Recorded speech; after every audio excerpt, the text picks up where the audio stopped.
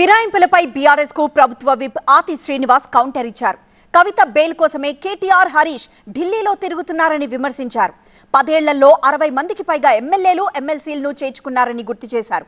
ఢిల్లీకి వారితో వెళ్ళిన ఎమ్మెల్యేలు కూడా వారితో ఉండరని ఆది శ్రీనివాస్ అన్నారు.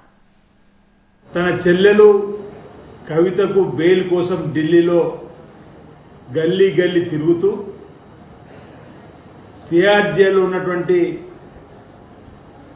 తమ చెల్లెను కలుసుకోవడానికి ములాఖత్ పేరిట ఢిల్లీకి వెళ్ళి ఇప్పుడు పెద్ద పెద్ద మాటలు మాట్లాడుతూ న్యాయ కోవిదితో చర్చిస్తున్నాం. అసలు మీకు ఢిల్లీలో ఏం పని అంటున్నాం హరీష్ రావు గారు కానీ కేటీఆర్ గారి పని. ఇద్దరు కూడా ఏ విధంగా కవితను జైలు నుంచి విడుదల చేయాలని చెప్పని న్యాయ కోయిలతో మీ సంప్రదింపు జరుగుతున్నంటే బాగుండు. అసలు ఈ పది సంవత్సరాల మీ పరిపాలనలో సుప్రీంకోర్టు అంటూ ఒకటి ఉందని చెప్పి ఏనానన్నా మీరు గుర్తుంచుకున్నారని అడుగుతున్నాం.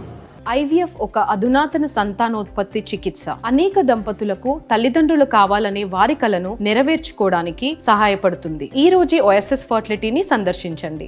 మీరు అధికారంలో ఉన్నప్పుడు పది సంవత్సరాల్లో సుమారు అరవై మంది పైచీలకు చట్టసభ సభ్యులు ఉన్నటువంటి ఎమ్మెల్యేలను ఎమ్మెల్సీలను చేర్చుకొని రాజ్యాంగాన్ని అపస్యం పాలు చేసినప్పుడు ఎందుకు ఈ న్యాయ కోవిధులు ఎందుకు ఈ సుప్రీంకోర్టు గుర్తుకు రాలేదని చెప్పని సందర్భంగా ఈరోజు పదేళ్ళు పాటు పనిచేసిన స్పీకర్లు మాట్లాడరు.